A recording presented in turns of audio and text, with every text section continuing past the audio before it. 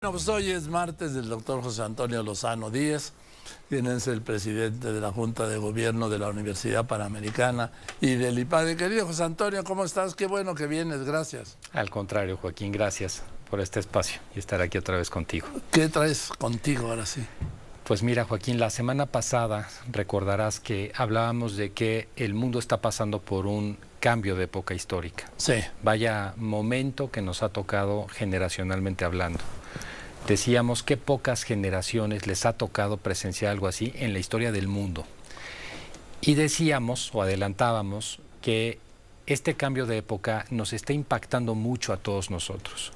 Hay tres cosas en las que nos impacta de manera profunda y, y, vamos a ir tocando una en cada programa. La primera es la decadencia, la segunda es un tema del crecimiento del odio y la manera como nos llevamos las personas y la tercera tiene que ver con la ruptura de la esperanza y la ilusión. A ver, la decadencia no es propia de las grandes civilizaciones. Claro, absolutamente. O inherente. Absolutamente, Joaquín. Fíjate que es, es interesante porque, de hecho, la mejor definición que se puede dar de decadencia es cuando una sociedad, una de esas grandes civilizaciones, que tiene todo el avance tecnológico, que tiene un gran bienestar material, se encuentra perdida en el propósito. Eh, no sabe ya qué más hacer. Es cuando la filosofía, las razones avanzan en círculos concéntricos, parecería que todo está estancado. Hay la impresión en el ambiente, en las épocas de decadencia, de un agotamiento. Parece que las soluciones, las que teníamos, esas grandes ilusiones, esas grandes respuestas que esperábamos, nunca llegaron. Y al no llegar, nos dejan en un estado en que teniéndolo todo, no sabemos hacia dónde vamos.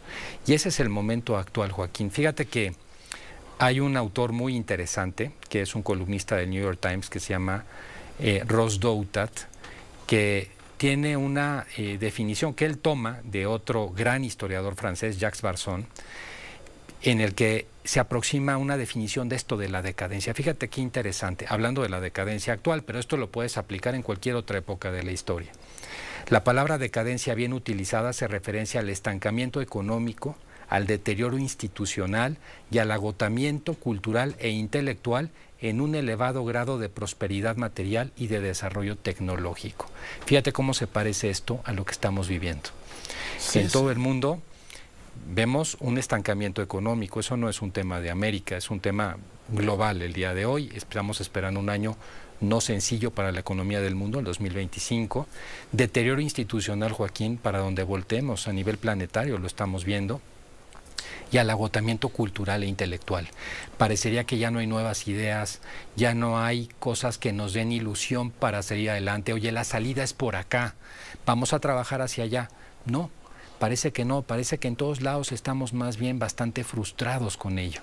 Y todo eso cuando tenemos la mayor, el mayor bienestar, la mayor riqueza, el mayor desarrollo tecnológico que no ha tenido ninguna otra generación en el pasado. Qué, qué fuerte esto de la decadencia, Joaquín. ¿Faltan puertas de salida o qué? Sí, Joaquín. Yo creo que el gran tema de la decadencia es que estamos teniéndolo todo sin saber qué hacer ni a dónde vamos. La crisis, para mí, eh, que implica una época de decadencia, es una crisis del propósito que tenemos en la vida, del sentido que tenemos en la vida. Mira, una época de decadencia yo le veo que tiene eh, varios signos, pero hay seis que me parece que son muy importantes mencionar que provoca en nosotros, o sea, seis daños que este ambiente de decadencia en el que nos ha tocado vivir, porque es el momento de nuestra historia, nosotros estamos aquí. Quizás, Joaquín, si estuviéramos todavía a, a principios de los años noventas, había mucho optimismo hacia dónde iba el mundo. Íbamos hacia una democratización del mundo, hacia una globalización del mundo, ¿te acuerdas? Sí, sí. El libro aquel de Fukuyama, El fin de la historia, de la ¿no? historia, Ya íbamos, las ideologías habían quedado detrás, hoy no. Hoy estamos eh, sufriendo una situación en la que yo te diría eh, seis características que nos afectan. La primera es una caída muy importante del sentido ético del etos social. Hay en las épocas de decadencia suele haber una confusión, eh, los valores que muchas veces las personas luchan por ellos, están ahí, se caen. Hoy estamos en ese momento. Hace algunos años, probablemente por valores como puede ser la democracia, en países de América Latina, eh, aquí, inclusive en el programa, tú lo has visto varias veces, había una gran aceptación. Hoy, ¿qué está sucediendo con la democracia? En países como México, el 56% de la población ya no cree en la democracia. Ese es un tema, y es un tema de fondo. Otro, Joaquín, que hemos hablado aquí en el programa, la pérdida del lenguaje. El lenguaje es cómo nos expresamos para comunicarnos con los demás. Hoy hay una crisis del lenguaje y por eso las personas no nos podemos comunicar, porque unos no podemos explicar y otros no podemos entender. Hace algunos programas te decía yo el tema, por ejemplo, de las palabras. Si uno eh, hiciera un análisis de cuántas palabras tiene el diccionario de la Real Academia, son más de 88 mil términos. Si tú le sumas a eso los términos o las palabras modismos de Colombia, de, América Latina, ¿no? de Costa Rica, de Argentina, llega a 120 mil. Una persona muy culta, te hablo de gente culta en México, no llega a 3 mil en su uso cotidiano del lenguaje. Y los estudiantes universitarios, Joaquín, no llegan a 300. ¿300 palabras? 300 palabras, de las cuales, por cierto, varias son groserías. O sea, que la capacidad de expresión es muy pobre. Si yo no tengo una palabra, ¿cuál es la riqueza de la palabra? Que encierra una idea que yo te puedo transmitir. Si tú conoces la palabra y yo la conozco, tenemos una idea, tenemos un pensamiento, pero si yo no tengo la palabra, ¿cómo te puedo transmitir la idea? ¿Con qué elemento puedo transmitir? Y segundo, ¿cómo puedo captar ideas?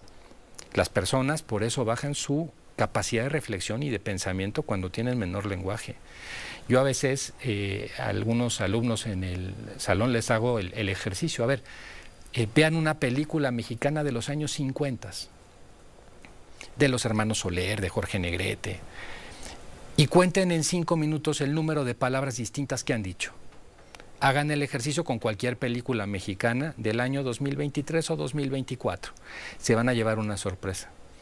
Hablamos cada vez con menos palabras, Joaquín. Y ahora se ha convertido, perdón, antes decían que el perro es el mejor amigo del hombre, ahora por lo que veo, el güey es el mejor amigo del hombre y de las mujeres, ¿sí? Porque se aplica indistintamente cuando hablan ellos a hombres y a mujeres. Claro. Y así como esa palabra y la palabra qué onda, que significa 20 o 25 cosas distintas.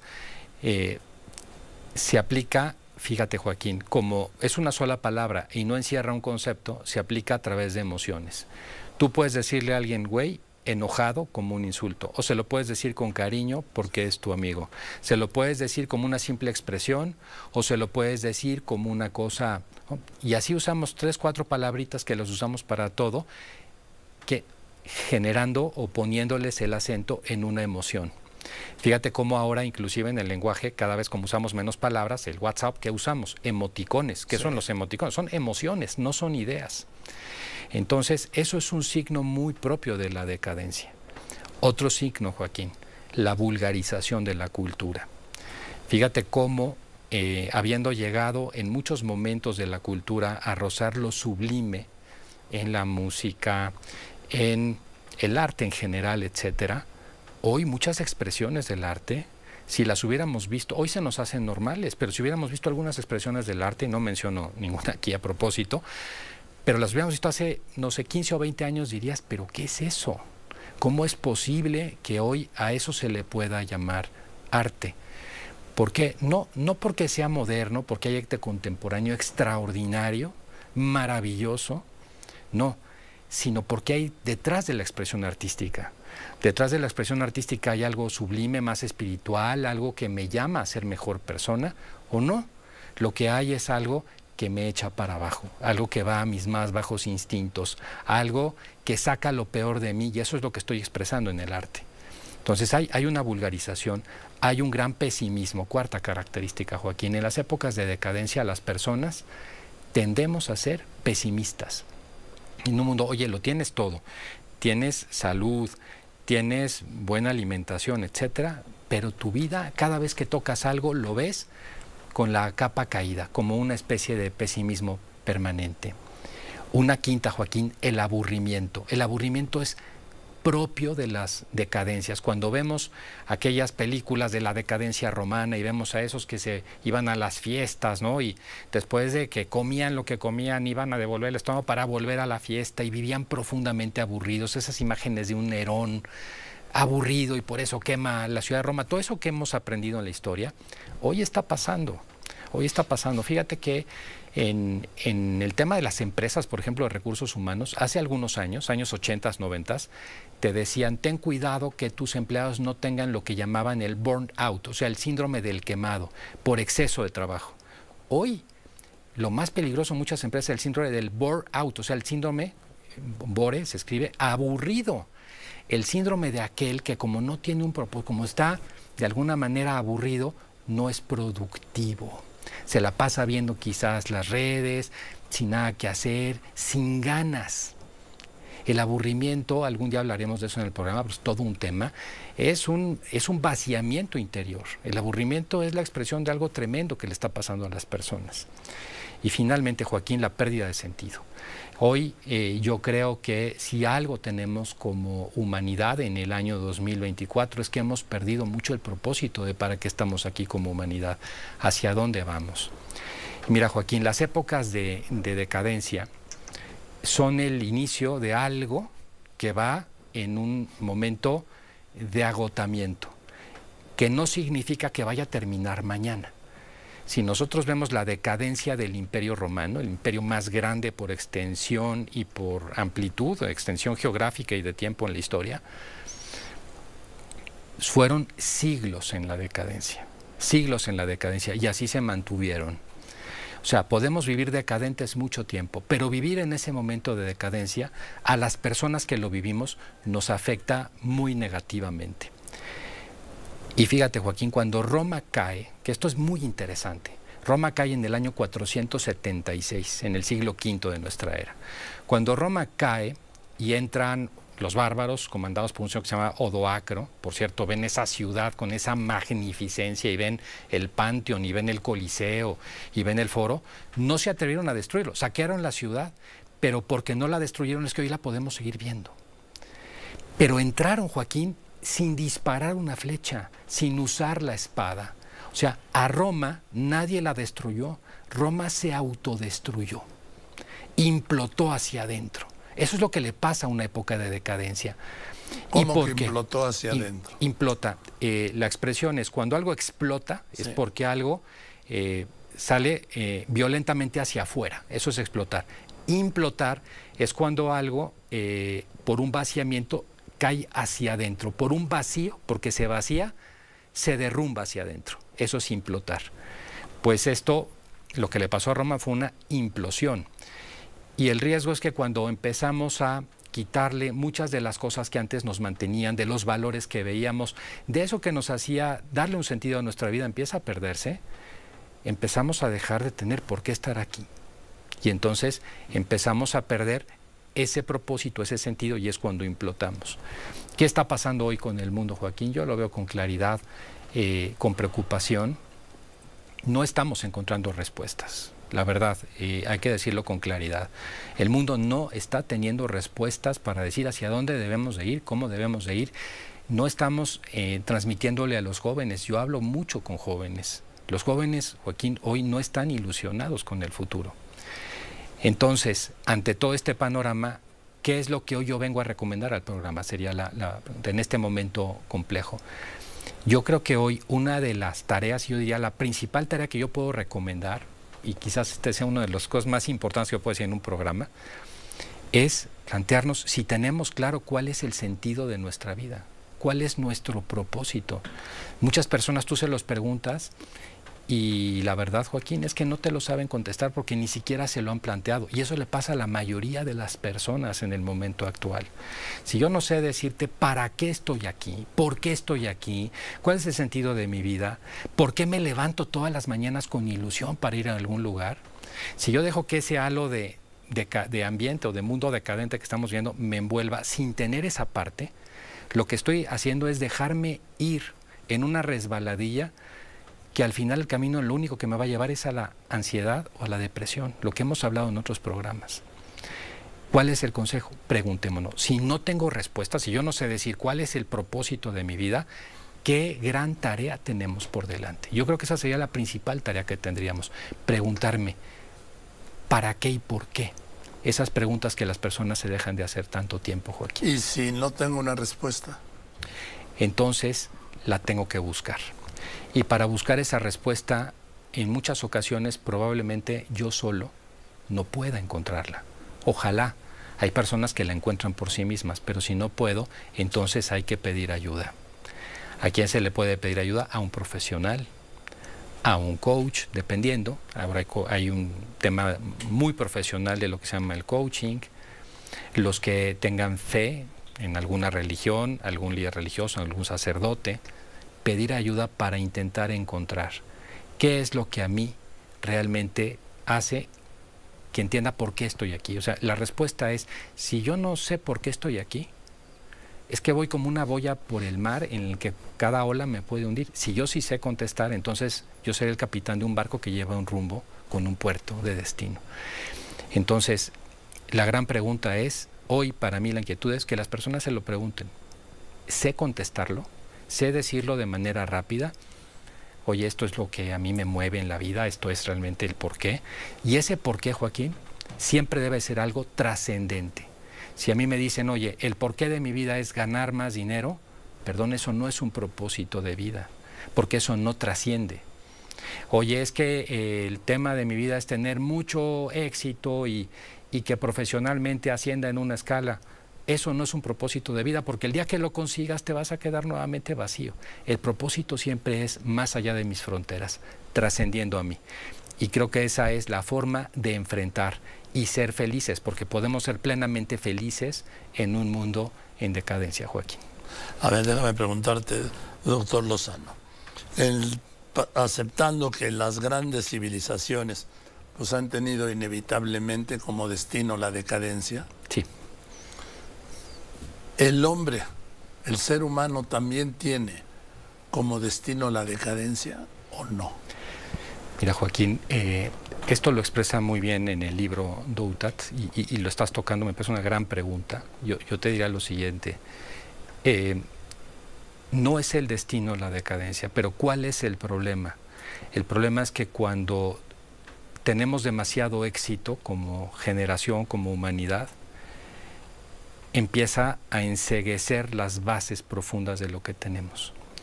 Se dice que en épocas de crisis, surgen grandes hombres. De los grandes hombres surgen grandes tiempos. De los grandes tiempos surgen hombres débiles y de los hombres débiles surge la decadencia. O sea, que es, un ciclo. Un ciclo completo. Es un ciclo completo, Joaquín. Que sube y baja. Así es. Y que hemos tenido, Joaquín, desde el término de la Segunda Guerra Mundial. Joaquín, en nuestras casas prendemos la luz, tenemos agua caliente, es que eso hace no mucho no existía. Tenemos medicinas en la esquina de la, en la farmacia de la esquina. O sea, lo que nosotros tenemos, ninguna otra generación lo había tenido. Tenemos wifi, tenemos esto. Le preguntas ahora, hablábamos, le preguntas algo ahora este aparatito, ya te contesta. Es lo que te decía hace un momento, ¿sí? Es increíble. aquí estoy, mira, déjame preguntar rápidamente, ¿sí? A ver, de preguntar, este, ¿cuántos viajes, no? Hizo el Papa Juan Pablo II a México.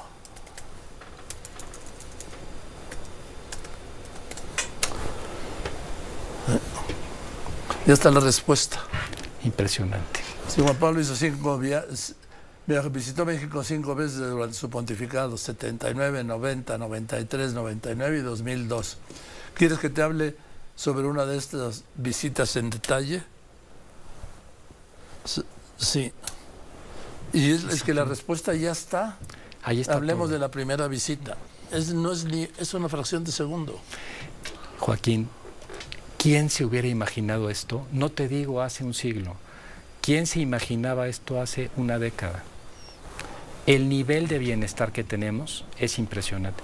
Por eso el título del libro este que les recomendaba de Ross Doutat sobre la decadencia se titula El mundo decadente, cómo hemos sido víctimas de nuestro propio éxito. Ahí se explica, Joaquín. Donde lo tienes todo y por tenerlo todo, entonces pierdes el sentido de las cosas, te omnibula para el sentido de las cosas, entonces entras en los periodos de decadencia. Y como humanidad estamos en un periodo que por ahí anda, muchas muestras culturales por ahí andan. ¿Cómo podemos nosotros de alguna manera ser felices y poder vivir bien y desarrollarnos en un momento decadente, encontrando nuestro propio propósito de vida, Joaquín? Ahí está la respuesta, nuestro sentido de vida. Bueno, os apunto todo. Querido José Antonio, como siempre. Pues, encantado. El doctor José Antonio Lozano Díez, presidente de la Junta de Gobierno de la Universidad Panamericana y del IPAD. Y el viernes lo que no nos no aprendimos o lo que no nos enseñaron. Lo que, eh, lo que no se enseña en la escuela. Lo que no se enseña en la escuela. Así es. Así es. Por ejemplo, en la escuela no enseñan que, pues, cómo llevar una casa. Por ejemplo, bueno, y te voy a decir cosas más profundas, cómo procesar un fracaso, ah, cómo encontrar una pareja, cómo, eh, en pocas palabras, alcanzar la felicidad como seres humanos. Sí. En fin, pues querido José Antonio, muchas gracias. Nos vemos el próximo viernes. Claro que sí, Joaquín. Aquí nos vemos. Pues si estás de acuerdo, el doctor José Antonio Lozano Díez, presidente de la Junta de Gobierno de la Universidad Panamericana y del IPADE. Continuamos.